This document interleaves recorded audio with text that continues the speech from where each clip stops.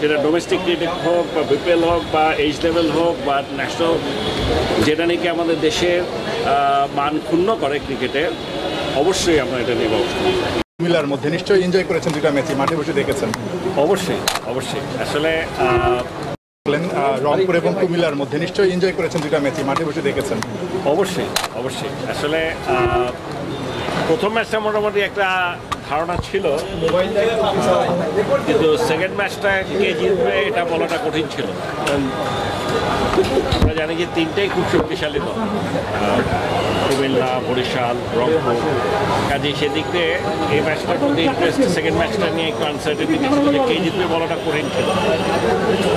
And খেলা দেখে খুবই ভালো লেগেছে। খুবই ভালো মানে খালি মানে ভালো না খুবই ভালো লেগেছে। তবে ফার্স্ট ম্যাচে আরেকটু রান হওয়া উচিত ছিল।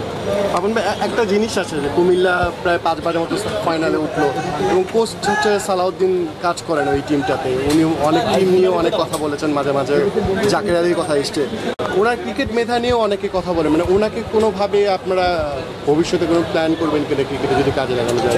আমরা আসলে একবার তো অ্যাডভার্টাইজমেন্ট দিয়েছিলাম আমি এই কারণেই দিয়েছিলাম যে আসলে কারা কারা ইন্টারেস্টেড আমার জানা মতে যাদের যাদের নাম মিডিয়াতে শুনি তাদের সাথে আমরা অনেকবার যোগাযোগ করেছি। তারা কোনো ইন্টারেস্ট শো করেনি। এখন কারও যদি ইন্টারেস্ট না হয় তাহলে তো আনা যায় না। সেই জন্যই আমরা প্রপার ওয়েতে অ্যাডভার্টাইজমেন্ট দিয়েছিলাম এবং আপনারা জানেন কে এসছে কারা অ্যাপ্লাই করেছে কে করেনি তবে ডেফিনেটলি আমার লোকাল কোচরা যদি কেউ ইন্টারেস্ট শো করে এবং আমরা যদি মনে করি যে হ্যাঁ ওই মানে যেমন ওনার মতো বা আরও আছে এরকম দু একজন, তাহলে ডেফিনেটলি বোর্ড তো কনসিডার করাই উচিত আমাদের সাথে সম্পৃক্ত করা সাম্প্রতিক সময় তো বিপিএলটা বেশ ভালো মনে হচ্ছে। মানে এবারের বিপিএলটা সাম্প্রতিক সময় যে কয়েকটা বিপিএল হয়েছে, তার মধ্যে মনে হচ্ছে মাঠের লড়াই কিংবা ব্রডকাস্ট কিংবা গ্রাফিক্স আমরা সব কিছু মিলে বলতে পারি, এবারের বিপিএলটা দারুণ হচ্ছে।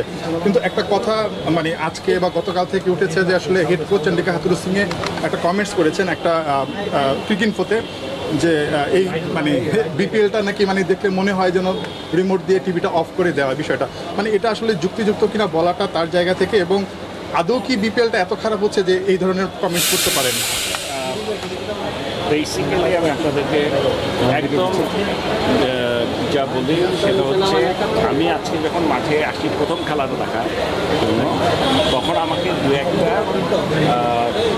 মিডিয়া রিপোর্ট দেখানো হয়।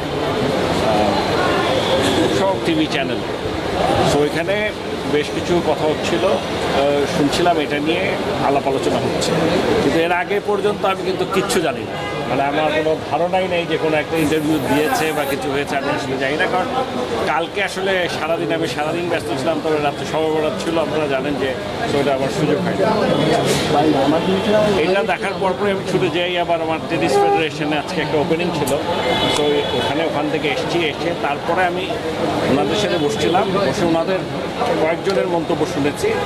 শুনে আবার একটা জিনিস জিজ্ঞেস করেছি যখনই জিজ্ঞেস করেছি কি বলেছে সে কি বলেছে ওটার কোনো রেকর্ডিং বা কোনো প্রিন্ট কোথাও আছে কি না তো ওনার আছে কিন্তু অনেকেই এটা দেখে নেই।